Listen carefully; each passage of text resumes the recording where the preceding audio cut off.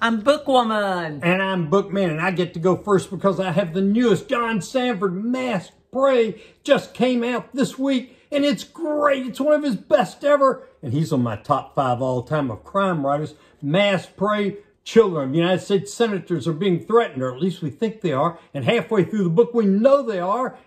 Read it right now. Why do you have my cooking gloves? It's hot. It's smoking hot. I was wondering where they disappeared. Lisa Wingate has a new book out called The Book of Lost Friends. And Lost Friends was a column that appeared in newspapers from formerly enslaved people after the Civil War trying to find their family members. This is a great story from the 1880s up through the 1980s. Check us out at bookmanbookwoman.com.